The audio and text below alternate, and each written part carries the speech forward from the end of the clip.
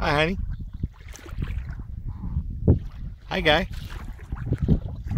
What's your name? That is a blue heron. Not quite full size. And he's just not scared of me.